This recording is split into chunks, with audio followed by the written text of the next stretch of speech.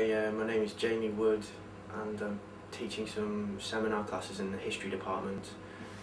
I'm using the, and the students, we're both using everything, well not everything, but the stuff I'm going to talk about, both the students and I am using at different points in the classes.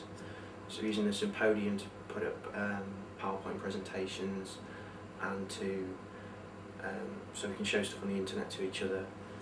I'm using the students are now using the laptop so they can do research in the class. If, if I give them a bit of group work or paired work to do, they can do a bit of kind of searching and stuff on the uh, laptops. Using the white walls and the um, whiteboards, um, huddle boards in similar ways, just so we can we can record kind of discussions that we're having. I can write stuff down if we're having a class discussion or if they're doing group work, they can write stuff on it themselves. Um, what other stuff?